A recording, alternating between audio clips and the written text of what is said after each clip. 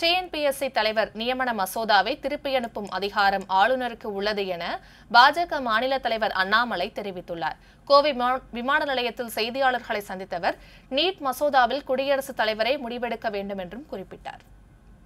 ஆனால் டிஎன்பிஎஸ்சியினுடைய தலைவருக்கு நீங்கள் அனுப்புறீங்கன்னா ஆளுநர் வந்து திருப்பி அனுப்புவதற்கு அதிகாரம் இருக்குதா? இருக்கு. இருக்குது ஆளுநர் அதை செஞ்சுருக்காங்க. அதிகாரம் இருக்கா? சைலேந்திர பாபு சார் நல்லவராக கெட்டவர் அதுக்குள்ள நான் போக விரும்பலைங்க அது ஆளுநரும் அரசு எடுக்கக்கூடிய முடிவு. நாமெல்லாம் சாமானிய மனிதர்கள்.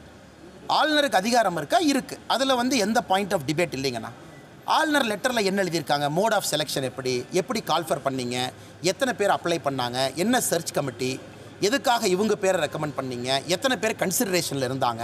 இந்த கேள்விகள் கேட்டிருக்காங்க இதற்கு பதில் ஆர்எஸ் பாரதி கொடுக்கணுமா? சீஃப் செக்ரட்டரி கொடுக்கணுமானே ஆளுநருக்கும் அரசுக்கும் இருக்கக்கூடிய அதிகாரப்பூர்வமான கம்யூனிகேஷனுக்கு தமிழ்நாட்டினுடைய தலைமைச் செயலாளர் அவர் பதில் கொடுக்கணும். சார் இந்த மாதிரி இருக்குது இந்த மாதிரி இருக்குது இந்த மாதிரி இருக்குது முதலமைச்சர் டிஸ்பிளேஷர் சொல்லலாம். இந்த மாதிரி இருக்குது நாங்கள் இவங்களை தான் கொடுப்போம் அது வேறங்கண்ணா திமுகவினுடைய அமைப்பு பொதுச்செயலாளர் அண்ணன் ஆர்எஸ் பாரதி அவர்கள் அவர் வந்து உட்கார்ந்து ஆளுநருக்கு பதில் சொல்லிருக்காரு. இந்த அநியாயத்தை இந்தியாவில் எங்கேயுமே பார்த்தது கிடையாது.